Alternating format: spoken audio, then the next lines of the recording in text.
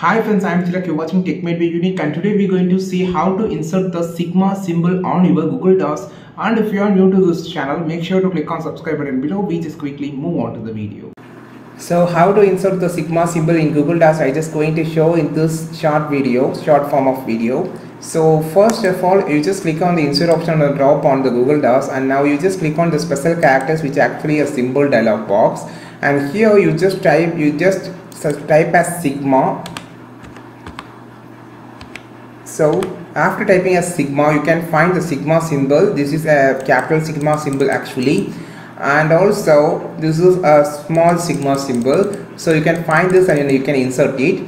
The second way of uh, of creating this or searching the sigma symbol you just draw the symbol like this if you know. It's actually easy. You can just find the different type of sigma symbol. Otherwise you can also draw this symbol also so you can just find it by using this option. So these are the first way. And second way you just need to press windows key plus dot symbol on your keyboard which opens the symbol dialog box. You just click on the symbols. And here on the math symbol you can see option called math symbol. If you if you put your cursor on top of it it will shows the name of it.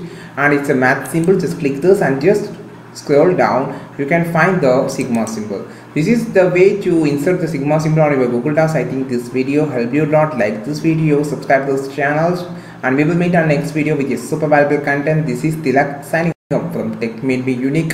Have a wonderful day